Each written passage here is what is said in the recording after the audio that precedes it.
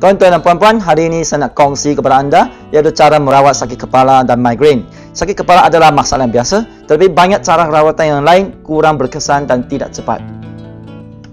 Kalau anda guna cara rawatan kuasa, satu kali buat sahaja sudah nampak kesan. Dan untuk masalah yang sudah 10 tahun, 20 tahun sakit kepala, berapa kali saja anda buat dan tidak akan sakit lagi. Jadi kalau sakit kepala di bahagian depan, kita kuasa kepala depan. Kalau sakit di kepala belakang, kita kuasa di belakang. Di mana ada sakit, kita kuasa pada tempat yang sakit. Inilah. Untuk migrain, kita kuasa yang pertama acupuncture tayang point dulu. Lepas tu yang kedua, tangan. Yang kedua, lepas tu kepada kaki, bahagian ketiga. Itu untuk migrain. Cara untuk merawat sakit kepala iaitu atau migrain kita mula dengan kepala di sini iaitu titik acupuncture tayang. Itulah kita kena kuasa sebanyak 30 kali dan itulah cara ikut sikat rambut, sikat rambut yang itu yang biasa kita buat. Dan lepas tu kuasa bahagian kepala belakang dan bahagian titik acupuncture feng Itu Cara kita kuasa, kita tarik dari depan ke belakang seperti sikat rambut, sikat rambut, itulah cara kita kuasa. Sebanyak 30 kali. Dan bahagian yang kita katakan fungsi iaitu bahagian kepala belakang inilah titik acupuncture yang sangat penting.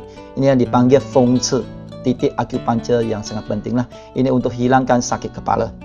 Dan selepas uh, kepala kiri kita kepada kepala uh, kanan, bahagian kepala kanan. Gunakan tanduk kebau iaitu bahagian bucu dia. Jadi dari depan kita tarik ke belakang, sikat rambut, sikat rambut yang seperti ini.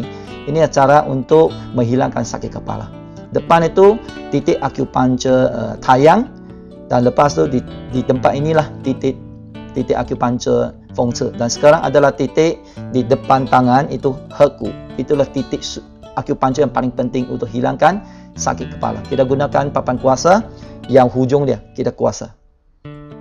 Dan sekarang kita ke, kepada kaki. Sebab kesan dia akan kepada kaki juga. Kalau kita tidak kuasa kaki jadi sakit kepala tidak akan diselesai dan itulah cara kuasa. Dan tempat ini ikut gambar raja di buku, kita kuasa sebanyak 30 kali. Cara dia kita tarik dari atas ke bawah, atas ke bawah, tekan dan tarik. Ha, inilah sakit kepala.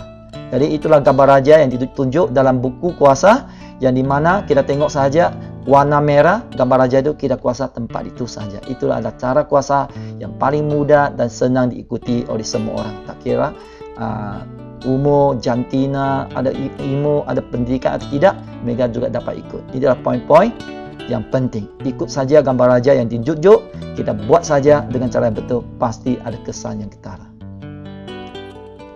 Jadi sekarang kita akan belajar cara kuasa untuk sakit kepala. Yang tadi adalah migraine. Jadi kita mesti mula kepala atas dulu, iaitu titik acupuncture. Inilah pai hui kita mesti rangsangkan titik acupuncture pai hui supaya kurangkan sakit.